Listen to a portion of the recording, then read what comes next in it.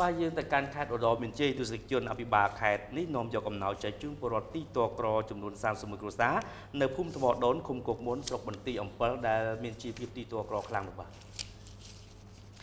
អាដាមប៉ែនកសលអភិបាលនៃគណៈអភិបាលខេត្តឧត្តរមានជ័យនិងជាប្រធានគណៈបញ្ជាការឯកភាពខេត្តនៅព្រឹកថ្ងៃ14កុម្ភៈ2021ម្សិលមិញបានដឹកនាំអង្គភាពមន្ទីរក្រមអាវ៉ាត់និងកងកម្លាំងទាំង3រួមនឹងលោកអភិបាលស្រុកមេឃុំនិងអាជ្ញាធរពាក់ព័ន្ធអឺនាំយកអំណោយរបស់កាកបាទក្រហមកម្ពុជាសាខាខេត្តរដូវមេជ័យទៅចែកជូនដល់បងប្អូនប្រជាពលរដ្ឋអឺ31គ្រួសារដែលមានជីវភាពទីតក្រ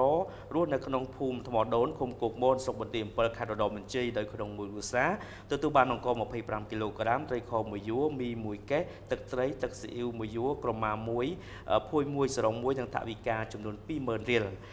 នៅក្នុងឱកាសសម្ដែងសម្ដារទៅកាន់ពលរដ្ឋទាំង31គ្រួសារខាងលើអាដាមប៉ែនកុសលបានលើកឡើងអំពីការយកចិត្តទុកដាក់របស់សម្ដេចកតេប្របណ្ឌិតប៊ុនរនីហ៊ុនសែនប្រធានការក្បាលក្រហមកម្ពុជាដែលជានិច្ចការតែងគិតគូរអំពីសុខទុក្ខនិងការលំបាករបស់បងប្អូនប្រជាពលរដ្ឋដោយមិនប្រកាន់ជាតិសាសន៍ឬសាសនានៅនៃការនយោបាយអ្វីឡើយសំខាន់ឲ្យពលរដ្ឋជួបការលំបាកនៅទីនោះតែងតែមានវត្តមានតំណាង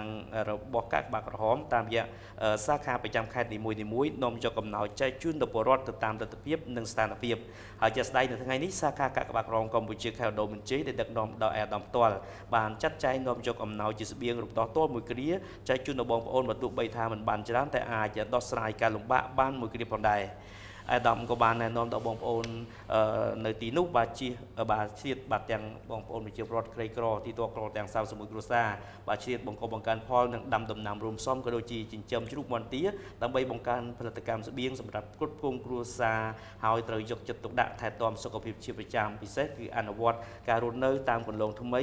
ដោយត្រូវពាក់ម៉ាស់នៅពេលទៅកាន់ទីប្រជុំជន ដែលមានមនុស្សច្រើនរក្សាគម្លាតសង្គមនិងគម្លាតបុគ្គលឧស្សាហ៍លាងដៃសម្អាតជាមួយនឹងសាប៊ូអាល់កុលរីជែលឲ្យបានញឹកញាប់ដើម្បីការពារការចម្លង COVID-19 ដែលជាជំងឺសកលរាតត្បាតទូទាំងពិភពលោកក្នុងនោះក៏មានប្រទេសកម្ពុជាយើងផងដែរហើយជាមួយនេះបើសិនមានកូនក្មួយធ្វើការនៅប្រទេសថៃពេលពួកគេត្រឡប់មកវិញត្រូវរាយការណ៍ប្រាប់អាជ្ញាធរមូលដ្ឋានឲ្យបានដឹងដើម្បីរៀបចំការធ្វើចាត់តលិស័ក14ថ្ងៃនៅមណ្ឌលសម្ចតចាត់តលិស័ករបស់ខេត្តដើម្បីការពារចំការចម្លងជំងឺ COVID-19 ចូលទៅកាន់សហគមន៍របស់យើងបាទនៅក្នុងឱកាសនោះដែរអាដាមប៉ែនកសលក៏បានប្រគិនថាវិការមួយចំនួនដល់ប្រសងនៅក្នុងវត្តថ្មដូនសម្រាប់ធ្វើចង្ហាន់ប្រគិនប្រសងដែលគង់នៅវត្តនេះផងដែរ